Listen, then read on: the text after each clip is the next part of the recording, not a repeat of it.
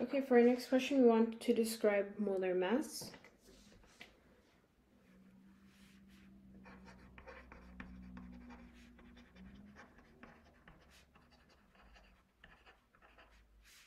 And so in um, the word, we can see the word molar. And so let's first go about describing what a mole is.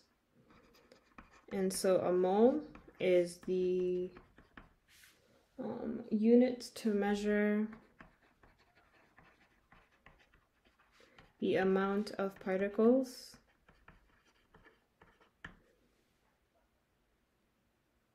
and it is specifically known that one mole contains um, 6.022 by 10 to the power of 23 um, particles.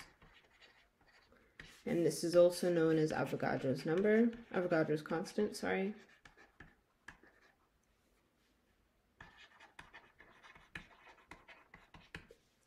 Okay, and so now the molar mass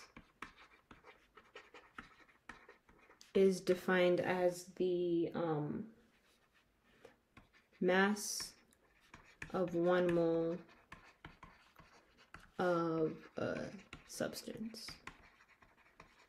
And so, of course, if you have 6.022 by 10 to the power of 23 particles, and you have a particle um, has a mass of um, A grams, then we're just going to multiply that A by 6.022 by 10 to the power of 23, and you just get the mass of one mole.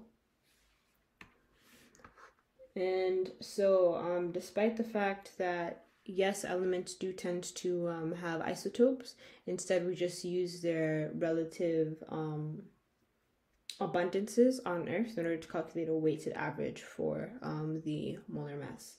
And so, a very, very good example, let's just write down the equation for molar mass is just equal to the summation of the number of types of an atom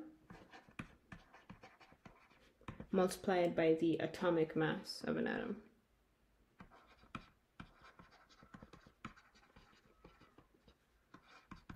Of that atom.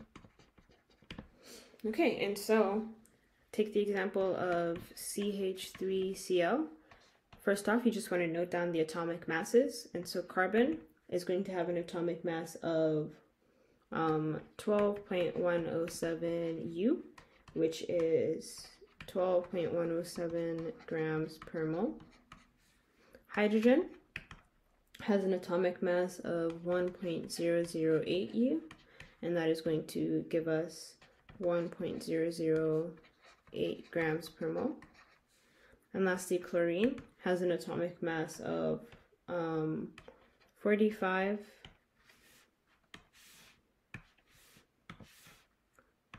45 point 453 grams per mole.